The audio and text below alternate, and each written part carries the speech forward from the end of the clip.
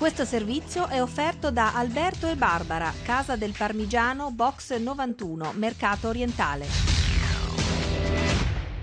42 precedenti a Napoli fra i padroni di casa, vittoriosi in 17 occasioni, e la Samp, capace di espugnare 8 volte il San Paolo. Nello scorso campionato, 9 novembre 2008, Mazzarri si arrese alla sua futura squadra, cedendo 2-0. Non solo il tecnico toscano nella sagra degli incroci curiosi, perché la rete del vantaggio partenopeo fu firmata da Daniele Mannini, in gol da pochi passi nel primo tempo su assist di Lavezzi. Sullo 0-1, gol annullato a Cassano per un fuorigioco inesistente, poi nel finale di gara il raddoppio per la formazione di Edi Reia, firmato dal neoentrato Zalageta ancora dopo un'iniziativa di Lavezzi. Nel torneo precedente i blu cerchiati si arresero ad un ottimo Napoli alla terza giornata. Il 16 settembre 2007 di nuovo 2-0 finale con reti al 43 di Zalageta e all'81 di Amsic, che con uno splendido acuto personale aveva cominciato a mostrare a tutti il suo grande talento. Fu una giornata storta per la squadra di Mazzarri, che mise fra i titolari un Bastrini in chiara difficoltà, con la coppia Caracciolo-Montella evanescente in attacco. Il 2-0 ricorre facendo un passo indietro di quasi 15 anni, 2 aprile 95,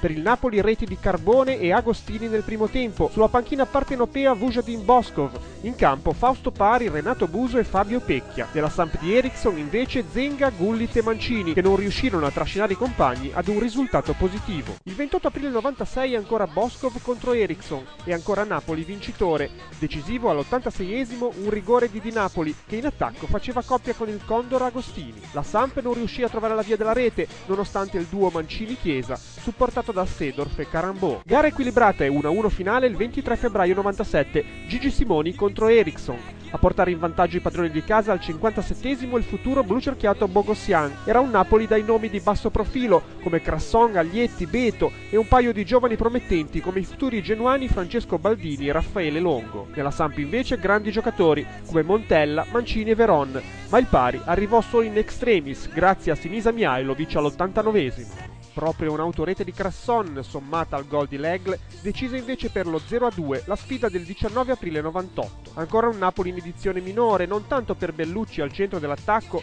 quanto per i vari Malafronte Asanovic, Stoiak e Panarelli, tutte meteore schierate titolari da Montefusco. La Samp, con Boscov di nuovo in panchina, vantava invece un 11 forte dei vari Montella, Veron, Balleri e Bogossian e il successo arrivò con relativa facilità. Il ricordo più bello per i tifosi blucerchiati resta però quello del 18 novembre 1990, doppietta di Mancini con tanto di gol capolavoro e doppietta di Vialli a sancire l'assoluta superiorità di una stampa destinata a vincere lo scudetto. Questo servizio è stato offerto da Alberto e Barbara, Casa del Parmigiano, Box 91, Mercato Orientale.